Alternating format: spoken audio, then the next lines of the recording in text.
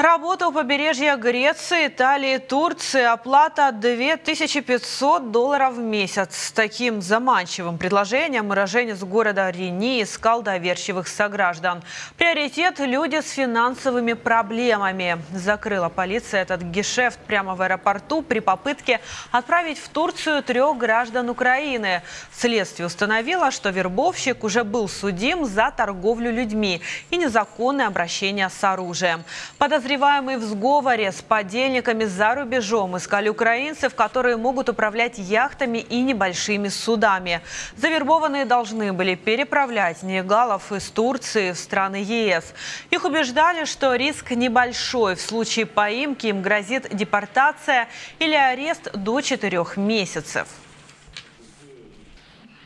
Что можете пояснить по этому поводу? Я... Ну, был. Вину признаете свою? Да. У подозреваемого изъяли паспорта завербованных, а также билеты до Стамбула на их имена.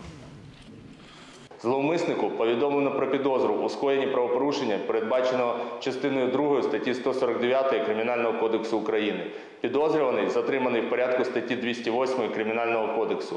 Вирішується питання про обрання йому міри запобіжного заходу у вигляді тримання під вартою. За скоєне чоловіку загрожує 12 років позбавлення волі з конфіскацією майна або без такої.